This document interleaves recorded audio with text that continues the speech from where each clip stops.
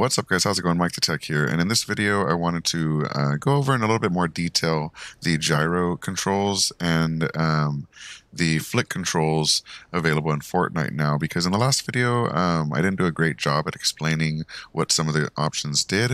Um, I kind of told you how to enable them and disable them and, and, a brief overview, but I'm not really great at explaining stuff um, in, in uh, that sense, I guess.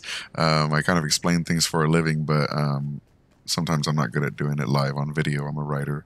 So instead, I'm going to show you how to do those things um, and actually demonstrate what each one of them does.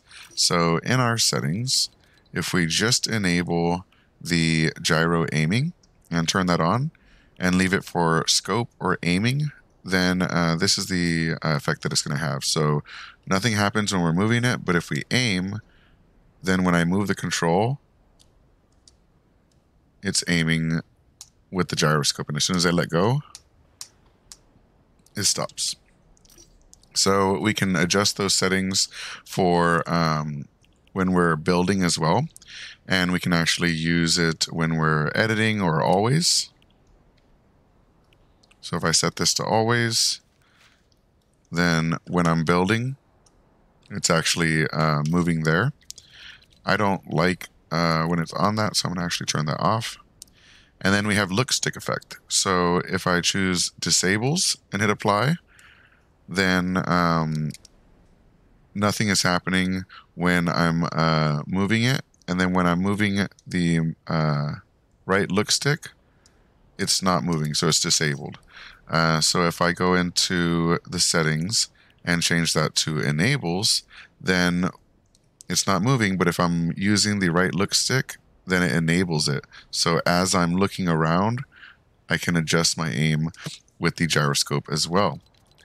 So let's turn that off. And then we have our flick stick. So when I turn this on and hit apply, um, now I actually can't use my right stick to move anymore. I could only turn. So I could look forward, but if I hit down, I flip backwards immediately. So I turn around really quickly. If I hit right, looks to the right, left, looks to the left. So that's what a flick stick is. It, it makes it so that you can flick around and turn around really quickly and easily. Um, and then the only way you can actually move is using the uh, look stick or setting that up um, so that your gyroscope will re-enable or your um, stick will re-enable when you're um, hoping to actually look around. So um, that can be useful in really fast moments, but you have to get, it's kind of a new type of playing. You have to learn how to adjust without having the right stick for aim and motion.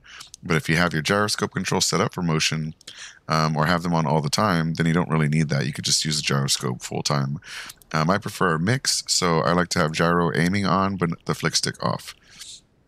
And then, of course, we have our scope multipliers, which changes how much it affects the movement when you move the gyroscope. So you could turn these down to have it move less, or turn it up to have it move more.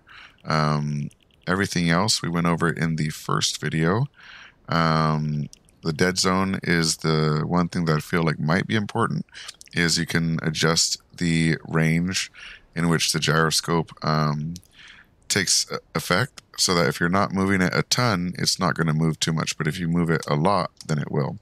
Um, so that can help if you have shaky hands or um, you get a little shaky in the clutch of the moment and stuff.